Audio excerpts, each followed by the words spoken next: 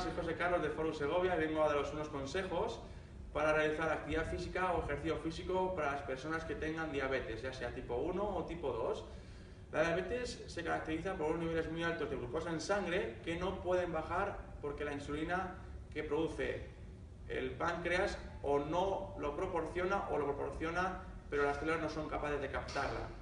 Lo primero que tienes que hacer si acudes a nuestros centros y tienes esta enfermedad es consultar con un técnico de cada centro.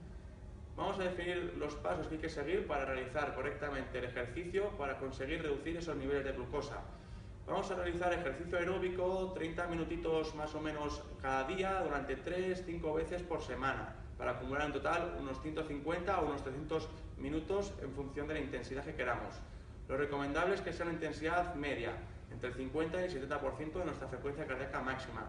Podemos combinar estos ejercicios con unos ejercicios de fuerza, que pueden ser ejercicios multiarticulares, sobre todo en torno a 8 o 10 ejercicios, que combinen varias partes del cuerpo, como pueden ser sentadillas, como pueden ser zancadas. Cualquier ejercicio que impliquemos muchos músculos, lo que hacemos es reducir los niveles de glucosa en sangre y así que no se produzca esos niveles de hiperglucemia. Si te ha gustado nuestro vídeo, dale a me gusta y no olvides de suscribirte a nuestro canal.